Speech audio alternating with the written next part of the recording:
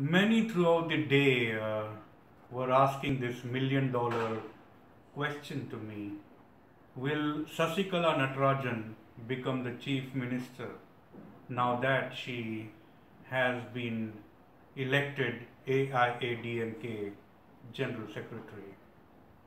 Seems difficult. Why I say so?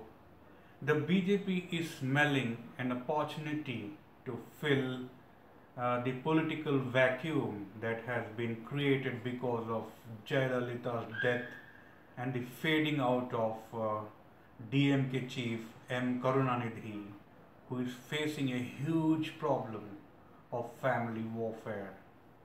So, what are the opportunities BJP have, and what strategy should it adopt? For now, BJP cannot go it all alone to make its presence felt in Tamil Nadu, uh, with the Dravidian politics ruling the roost, though it is on a wane in the absence of uh, charismatic leaders on either side.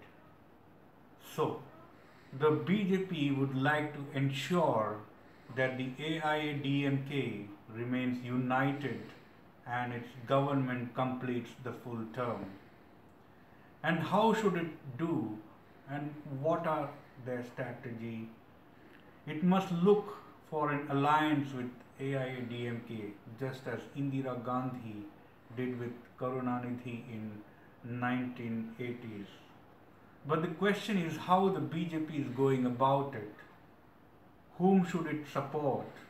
Should it support Sasikala or Pannir Selvam the Tamil Nadu chief minister for now Going by Rama Mohan Rao related raids, the BJP is vouching for Panneerselvam to check the growing ambitions of Sasikala as he is seen as her clan nominee. What could be a prima facie to lend credence to BJP vouching for Panneerselvam?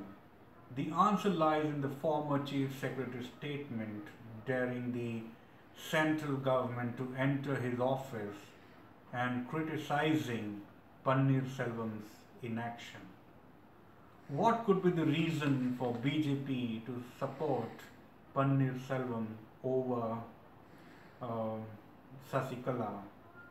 Going by media interview of uh, S. Gurumurthy, who is part of BJP's think tank, said he do not see Sasikala emerging as a leader of AIADMK as she is over ambitious and her relatives whom Jayalalithaa hated could dominate her which will prove to be her undoing in the party. Moreover, Sasikala's political future will depend on the outcome of disproportionate assets case pending in Supreme Court. If it goes against her, it will spell doom for her political career.